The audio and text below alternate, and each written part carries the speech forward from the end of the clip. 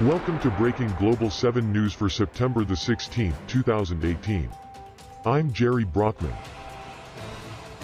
Today U.S. Army battles pro-regime forces in Syria.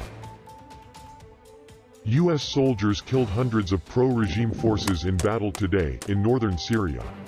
Up to 400 pro-regime fighters are thought to have died in American defensive bombing that was launched in response to a surprise attack on a U.S.-held base in the oil-rich Tal Baydar region today, east of the U.S. Army base Tal Tamir.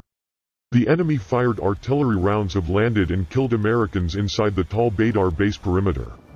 The battle involved air power, mortars and tanks and is believed to have been the deadliest battle between U.S. and Russian forces since the end of the Cold War. The Pentagon said the airstrikes were launched in self-defense following an aggressive advance on land controlled by the United States and the U.S.-backed Syrian Democratic Forces, a coalition of Kurds and Syrian rebels. We'll be back after this short break with more on this breaking story from Global 7 News. I'm Gerry Brockman.